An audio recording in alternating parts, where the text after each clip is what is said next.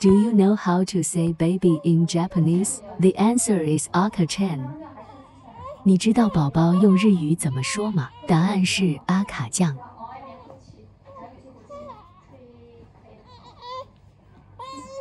Aka means red. In other words, the origin of the name comes from the reddish skin of newborn babies. 阿卡是红色的意思。换句话说，这个名字的由来来自于刚出生的婴儿微红的皮肤。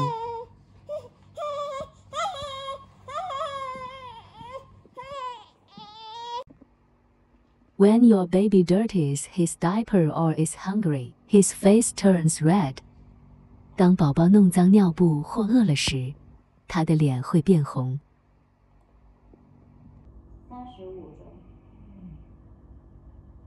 你这宝宝也那也五斤多也不错了。 The color is back again. The baby has his mouth open. He's so cute. 颜色又回来了，宝宝张开嘴，非常可爱。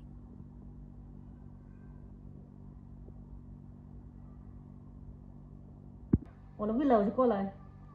Baby left. This is his first smile. 宝宝笑了，这是他人生中第一次的微笑。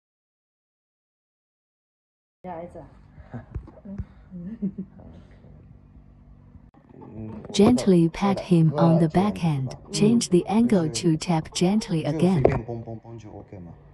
应该也轻轻拍拍他的背，改变角度，并再次轻轻拍拍。哦，那肯定的，那肯定的。不过我就说，好的。 Be careful not to overdo it. Then the baby 这个 may 滑 smile 动 again. 呃也不要知道它，有些是没有的，不要知道它。小心不要过度，然后宝宝可能会再次微笑吃。的好，那个是吃奶吃进去的空气有。笑了，你看。